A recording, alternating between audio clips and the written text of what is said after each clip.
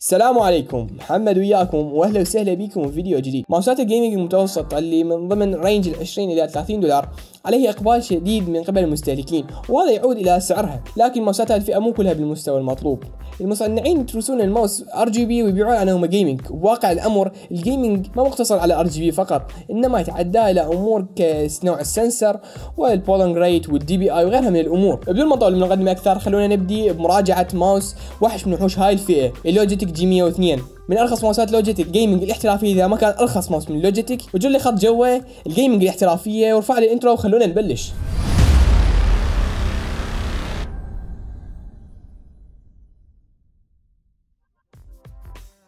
أهلا بكم أصدقائي مرة لوخ وخلونا نبدي تجربة فتح الصندوق بالنسبة لماوس ال Logitech G 102 فهي تجربة اعتيادية. ورغم ذلك مستخدمين مواد تصاميم على ال packaging تحسسك أنه الماوس راقي ومنتج premium.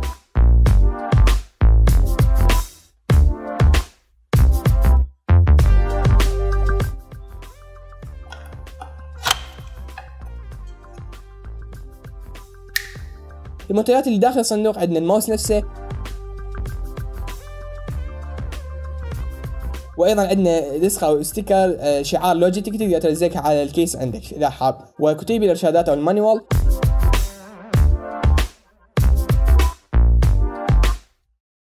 انتقالا إلى تصميم الماوس ف Logitech هنا معتمده على البساطة بالتصميم وهذا الشيء ما مستبعد من عندهم حتى يوفرون من سعر الجهاز. فأكيد ما راح نشوف انحناءات وبروزات مثل ما نشوفها بال G 502 والطابع العام والشكل العام للماوس هو الطابع التناظر بحيث من كلتا الجانبين هو متشابه. وهذا الأمر يخليك إنه تمسك الماوس بالايد اليمنى أو اليسرى ماكو أي إشكال بس مع مراعاة الأزرار الجانبية ازرار ال forward وال backward وبما إنه جبنا طاري ال forward وال backward فخلينا نتكلم عن الازرار شوية. كل ازرار الماوس قابله لإعادة البرمجة من داخل software الماوس نفسه اللي راح نتكلم عليه إن شاء الله شوية بالفيديو. الزرين ال forward وال backward صار على الصفحة اليسرى من الماوس. الأمر اللي ما راح يفيدك إذا كنت يسراوي. خلوا ببالك نقطة. حلو بالازرار الجانبيه ال forward وال backward إنه اماكنهم ممتازة جدا بحيث ما توصل لهم بالغلط أو تدوس بالغلط تتعب ال game وتفصلك عن ال game وبنفس الوقت إذا حبيت إنه تدوسه فدوستها سهلة وما يحتاج إلى قوة قوية حتى تدوسه. شكل وتصميم الماوس ككل. بالإضافة إلى وزنه اللي يبلغ 85 جرام واللي هو تقريبا بالنص بين الماوسات الخفيفة والماوسات الثقيلة الوزن.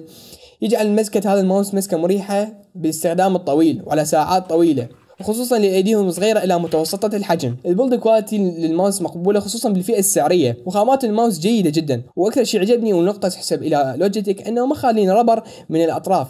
بعض الناس يعتبرها ميزة لكن أعتبرها سلبية لأن إذا خليت rubber أو مطاط راح تحشر بالتراب فيصعب عليك تنظيفه. الماوس يجيب لونين يعني اللون الأسود واللون الأبيض. اللون الأسود خامة مالته ناشفة والأسود ناشف فما راح تعاني من آثار الأصابع أو البصمات على الماوس بعد الساعات طويلة من الاستخدام. ال scroll wheel أو البكرة مصنوعة من البلاستيك ومخططة بخطوط. تجعل من الصعب أنه تزحلق من إيدك وبنفس الوقت م سنتره بالنص فمكانها كلش حلو بحيث أنه ملمسها وفرها أمر ممتاز جدا. لا تعليق عليها. أزرار الماوس الاساسيه ال left وال right click لازم نتكلم عنها ونعطيها جزء من الفيديو. فال left وال right click أزرار ميكانيكية. ولوجيتك معطي ضمان سنتين على ال hardware والحلو أكثر بعد بالأزرار أنه تقدر تدوسها من أي مكان من من الدقمه نفسها بحيث من الامام من الخلف مثل ما تشوفون هنا قدامكم. وهذا صوت الماوس.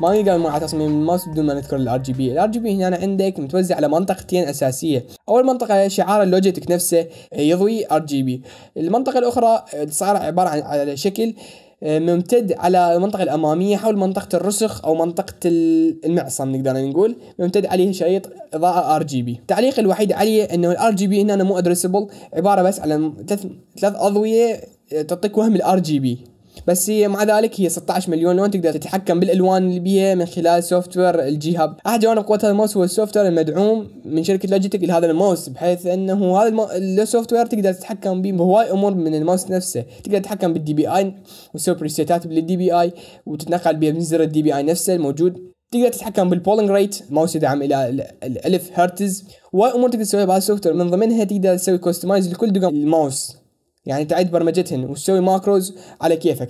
نقطة تحسب إلى لوجيتك وأكيد ما ننسى إنه تقدر تتحكم بال RGB الموجود تقدر تسوي presetات تقدر تخلي الألوان المحددة ثابتة. التطبيق هذا أو ال software مال لوجيتك G Hub يحتاج فيديو خاص لأن فيه هواي أمور متشعب. مستشعر الماوس أنا أو optical ما بي ليزر يتراوح DPI من 2000 إلى 8000 واللي هو رقم كبير هواي polling rate هو 1000 هرتز الكيبل هنا طول 2.1 متر ونوعية الكيبل مقبولة والسلك رفيع جدا الأمر اللي ما راح يكون لك وزن زايد باللعب. لكن عجبني إن إنه لوجيتك مهتمه بأدق التفاصيل بحيث راسية الفيشة ال USB محفور عليها رمز لوجيتك والأمر يعني حلو. أما الآن ننتقل للسلبيات اللي أنا شفتها بالماوس. فأول سلبية أنا شفتها إنه ما خالي لك أوزان إضافية للماوس حتى زيد من وزنه خصوصا إنه الماوس 85 وزنه فالأمر اللي يعتبر عند بعض الناس يعتبر قليل. ولكن يظل هو الماوس بالفئة المتوسطة فما نقدر نحكم عليه ونقدر نعاتب شركة لوجيتك عليه. ولكن لو ضايفين أوزان فكانت حركة تقدر عليها لوجيتك. الأمر الآخر اللي ذكرت لكم إياه أيضا اللي هو جي بي المو addressable هاي النقطة الثانية إنه عبارة عن بس ثلاث أضوية ثلاث لدات هي عبارة عن ال RGB الموجود بالماوس. ثالثا عدم وجود RGB بال scroll wheel. خصوصا أكو هواية ماوسات بالفئة نفسها موجود بيها RGB بال scroll wheel. أخيرا سعر الماوس وهل أنصح به سعر الماوس 25 دولار.